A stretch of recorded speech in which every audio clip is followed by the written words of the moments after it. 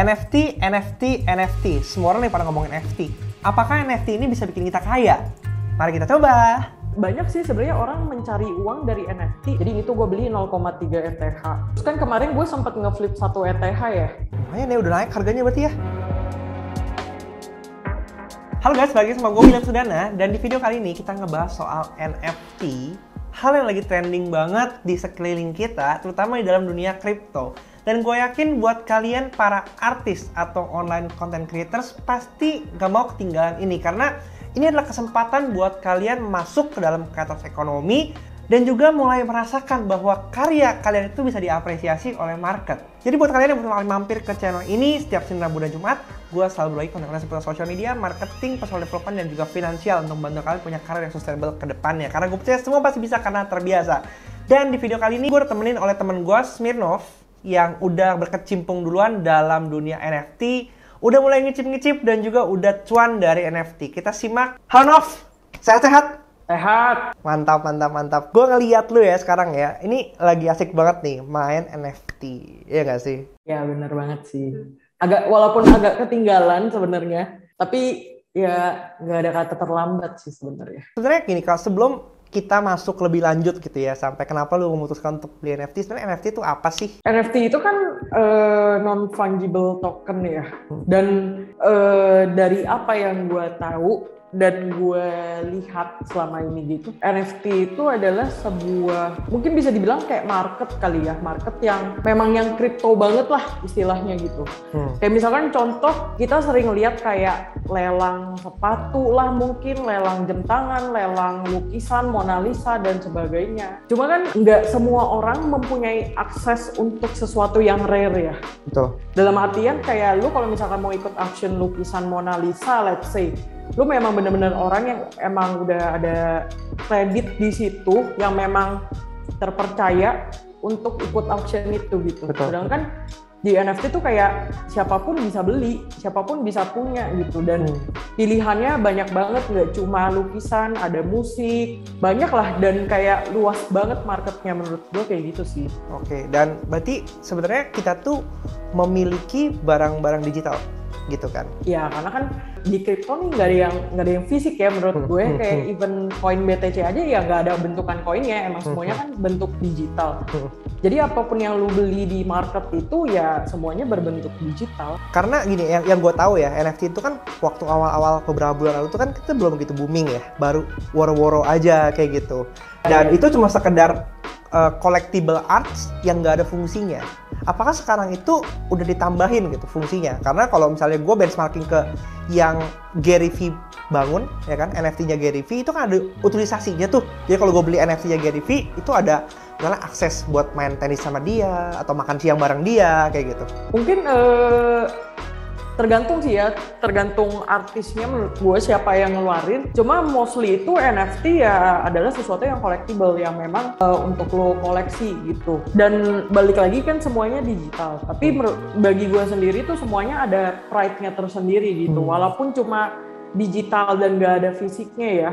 Let's say kayak orang sebenarnya tuh nggak harus beli, kayak lu save image aja itu juga bisa. Cuma ya beda pride sendiri kalau lu yang punya. Dan banyak sih sebenarnya orang mencari uang dari NFT dan bahkan membantu artis-artis pelaku seni gitu di dunia NFT ini berkembang banget sih di dunia NFT. Jadi secara nggak langsung sebenarnya ini gini solusi ya buat para artis untuk bisa memonetisasi karya-karya mereka. Di mana kalau misalnya apalagi di Indo ya, kan kayaknya kalau artis itu kan nggak nggak gitu dihargai ya nggak sih? Iya bener. Jadi sebenarnya kayak ada bagusnya dan malah menurut gue kayak nilai plus banget ya ada NFT ini dan maksudnya kayak eh, artis-artis underground tuh bisa ngangkat dan NFT kan worldwide ya. Semua siapa pun orang dari mana pun tuh bisa lihat gitu. Jadi kalau sistem transaksinya sama kayak misalnya kita beli barang di marketplace gitu. Sistemnya sama kayak kita beli di marketplace cuma yang bedain itu kita nggak tahu siapa yang beli, kita nggak tahu dia orang mana dan kita nggak bisa chat sama calon buyer atau calon sellernya.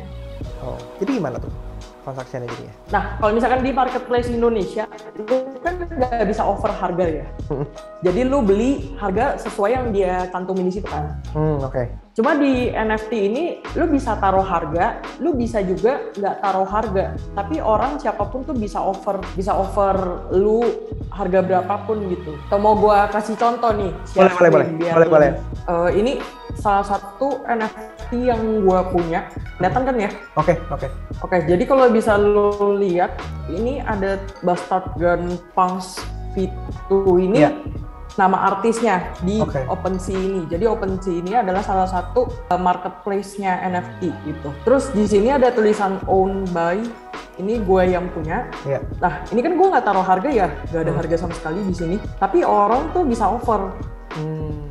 Dan ada expirednya di sini kayak berapa lama ini kayak in a minute udah angus gitu Oke. oke. terus jadi kalau gua mau jual gua langsung aja pencet accept Uh-uh. jadi nanti NFT-nya pindah ke dia gue terima uangnya langsung ke wallet gua Oh, oke, oke, oke, oke. terus oke, seperti kayak yang bisa kita lihat di sini from-nya kan namanya ngaco ya. Iya, heeh. ini ada yang angka sama nomor gitu ya karena di dunia kripto ini kan kita nggak pernah tahu siapa aslinya nggak ada Ya. alamat dan segala macam Ya, gitu ya, ya, ya, ya, ya. Terus ini ada penjabarannya, kayak backgroundnya tuh apa, terus eh, ya kayak penjabaran artnya gitulah ceritanya. Lalu ada level-levelnya juga. Ini gue masih mempelajari level apa sebenarnya. Ya ada tentang si eh, NFT-nya ini tuh tentang apa gitu. Terus yang uniknya itu kayak misalkan lu beli beli lukisan Mona Lisa nih. Lu kan nggak pernah tahu ya sebelumnya itu lukisan Mona Lisa dipunya sama siapa sih, dipegang sama siapa. Ya. Tapi yang bikin seru NFT itu lu tahu dan semuanya tuh ada ada historinya Oke. kayak dari siapa ke siapa terus berapa lama yang lalu kayak gitu Hmm, jadi semua tuh jelas di sini jadi ini tuh gue beli 0,3 ETH dari Hmm, orang empat oke. hari yang lalu Oke, oke, oke, oke. terus baru di over tuh 0,44 Lumayan ya udah naik harganya berarti ya? Lumayan. Terus kan kemarin gue sempet ngeflip satu ETH ya penguin. Terus ternyata penguinnya hari ini masuk New York Times. Jadi gue kayak agak nyesel jual duluan. Coba gue jual di dua ETH kan lumayan. Ngeflip tuh maksudnya apa ngeflip? ngeflip tuh kayak lu beli berapa lu langsung jual berapa gitu. Oh, oke. jadi kayak ngeflip ngeflip gitu. Terus di sini tuh bisa lihat rankingnya ranking ranking eh, NFT artis nih ini nih penguin yang gue punya yang gue ngeflip satu ETH Hmm. hari ini booming banget dia langsung mendadak Hmm, wow. kayak gitu ada banyak banget nih macamnya Oke, sekarang dari berbagai macam NFT yang ada yang kita lihat di sini ya, gimana cara kita menentukan bahwa ini adalah NFT yang potensiali untuk naik dan ini yang nggak laku gitu? Kalau dari gua pribadi, eh, sekarang gini deh, logiknya itu kalau NFT ranking 1 sampai 10 udah pasti mahal banget. Hmm. Kita coba cek aja nih ya, kayak si Penguin nih. Kita mau tahu kayak paling murahnya dia berapa sih? Floor price itu harga paling paling Oke. murahnya aja udah 1,85 ETH kan. Hmm. Which is kayak ya mungkin untuk beberapa orang masih oke lah untuk beli kan. Hmm. Nah, paling murah itu offeran orang 2,4 ETH. Jadi kayak ya lu mesti pinter-pinter juga ya menurut gua. Kalau gua sendiri gua tidak akan mengejar apa yang sudah mahal. Hmm. Jadi gua melihat potensial eh, yang lainnya aja yang kira-kira masih oke tuh yang mana. Nah, gua biasanya ngelihat ranking yang di eh, yang 10 ke bawah rankingnya. Orangnya 10 Jadi ke bawah. lihat 10 ke bawah, terus nanti gue sih biasanya pakai filter. Filternya itu antara filter most view atau most favorite. Kenapa? Karena gue mikirnya gini, kalau most view berarti orang-orang lihat dan orang-orang ada potensial untuk beli kan. ya, Dan most favorite itu orang nge-like karena mungkin dia mau beli nanti, tapi ya tunggu aja deh. Gue mikirnya kayak gitu ya, tapi Oke. jangan diikutin karena ini analisa gue sendiri. ya, ya, ya. Terus, nah lucunya lagi di NFT ini ada yang rare, ada yang langka. Walaupun bentukannya kayak gini nih, tapi ada yang langka karena kan ini serinya banyak banget ya. Dia di sini aja tulis ada collection of 9999. Ya. Jadi ada 9999 bentuk kucing yang berbeda. Tapi kucingnya ini lo bisa cek kayak kucingnya mana sih yang rare. Nah, itu ada aplikasinya. Oke. Wow, interesting. Ya tapi kita tuh nggak berarti nggak ini ya, nggak cuma ngeliatin trennya aja dan apa yang orang-orang tadi lu bilang, yang yang orang-orang sering lihat most view dan most favorite gitu. Tapi nggak ada terkait charting atau apa semua segala macam gitu. Gak ada sih sebenarnya kalau yang gue lihat ya, yang bikin NF, suatu NFT sukses apa enggak itu dari community di Twitter. Hmm. Jadi ketika di Twitter rame banyak yang goreng ya udah pasti bakal naik sih. Oke. Pengalaman gue kayak gitu ya. Oke. Jadi kayak gembar-gembornya orang-orang di Twitter ini berpengaruh juga dengan eh, keberhasilan suatu NFT. supply and demand tetap kan berarti kan semakin banyak orang yang beli semakin mahal karena kan pasti orang beli ngebitnya pasti lebih tinggi lebih tinggi lebih tinggi lebih tinggi gitu Benar. Tapi ya balik lagi ya, maksudnya kayak gak semua NFT tuh memang segila itu. Maksudnya jangan ditaker dari apa yang lu lihat di timeline Twitter. Kayak gue lihat di timeline Twitter tuh ada yang sampai ngejual 888 ETH gitu. Tapi jangan jadikan itu suatu patokan untuk lu uh, beli NFT. Karena nggak semua NFT itu worth, worth sampai segitu mahalnya gitu. ada yang overhype lah ya tetap ya Ini jadi gue udah beli NFT. Ini koleksi gue sekarang yang gue punya. Ini gue beli 0,01 nggak ada yang over kayak ya udah gitu. Hmm. Emang beli karena lucu aja menurut gue. nah sekarang pertanyaannya apa faedahnya koleksi barang-barang kayak gini Menurut gue balik lagi ke hobi sih ya. ya Gue kan emang hobinya tuh gue suka mengkoleksi sesuatu ya. Dan kebetulan lagi berkecimpung di kripto, gue melihat NFT ini unik banget gitu dan masih segmented menurut gue ya. Karena Hmm. nggak semua orang tuh mau rela spend uang buat barang kayak sesuatu digital yang bener-bener lu nggak tahu fisiknya kayak gimana, nggak ada Betul. fisiknya. betul betul Jadi kayak ya either mau mencari uang lebih di NFT atau mungkin memang suka sama uh, art seperti ini gitu. Tapi kalau gue pribadi emang gue mau koleksi aja dan kalau misalkan ada yang offer dengan harga tinggi ya gue jual terus gue cari lagi yang lain. ya intinya NFT mah cuma buat orang-orang yang borju aja lah ya gitu ya kalau orang-orang kaum miskin mah jangan beli NFT lah karena jadi kayak wasting of money gak sih Gak gitu sih, tapi ada loh NFT yang harganya tuh kayak 0,00 ini gue beli 0,001 nih gue beli 0,01 0,01 nggak berarti? Dua dua ratus ribu ya? 0,01 enggak dong 0,01 RTH Lima ratus ribu ya? Tiga ribu kali? Eh, sekarang berapa sih 400 45 ribu. juta ya Iya, empat ratus ribu. ya 450 ribu lah Hmm, Iya. Iya, iya, iya, iya. It- ya, tapi coba bayangin ya, orang 450 ribu beli pixelate cat gitu ya. Daripada beli pixelate cat, mending katanya mending masukin BTC nggak sih? Masih kelihatan cepet cuannya gitu dibandingkan masuk kayak gini, ya nggak sih?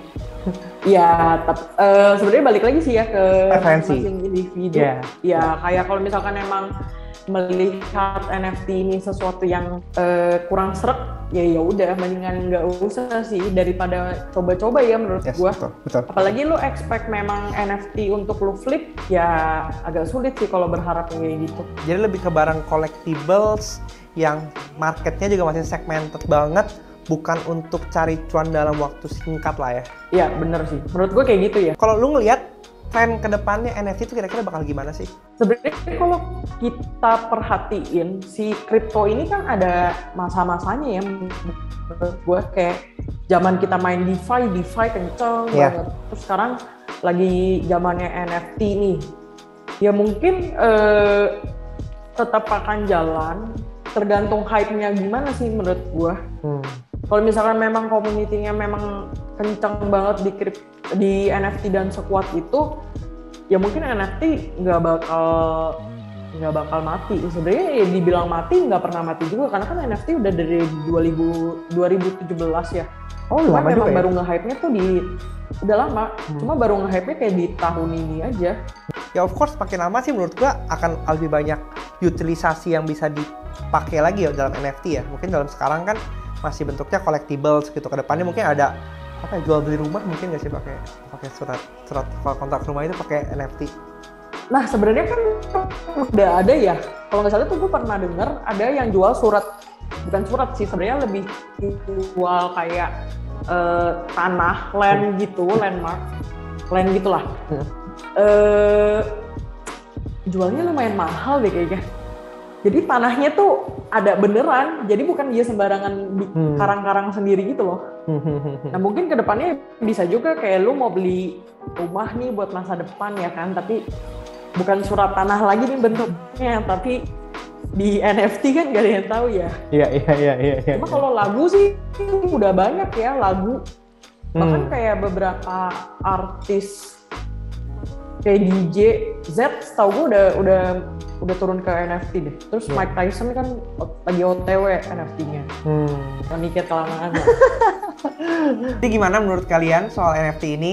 Kalian udah siap untuk collecting atau mungkin lebih milih trader crypto aja kayak biasa pegang koin karena cuannya lebih berasa lebih cepat. Tapi gue percaya kalau kita tetap up to date dengan tren yang ada, itu akan membantu kita untuk nggak melewatkan kesempatan-kesempatan cuan yang ada di depan mata kita. Karena balik lagi, dalam dunia internet, semua orang bisa menjadi kaya dan punya kesempatan untuk menjadi kaya. Tinggal masalahnya, kalian berani nggak untuk ngatur resikonya sesuaikan dengan apa yang menjadi kemampuan kalian. Nggak usah ikut-ikutan karena trending semata. Yang penting tahu dulu sehingga ketika ada kesempatannya kalian bisa masuk. Kalian suka dengan konten-konten seperti ini, jangan lupa hit like buttonnya karena gue percaya dengan satu hit like button kalian akan membantu video ini untuk tersebar dan lebih banyak lagi orang yang pengen belajar NFT bisa tahu. Dan di video selanjutnya, gue udah siapin satu narasumber lagi untuk membahas tentang NFT, pengalaman dia gimana, yang rugi ratusan juta karena NFT dan kalian juga bisa belajar dari pengalaman dia. Jadi kalau nggak mau ketinggalan, silahkan di subscribe dulu aja channel ini. Dan sampai jumpa di video selanjutnya. Semua pasti bisa karena terbiasa. Bye.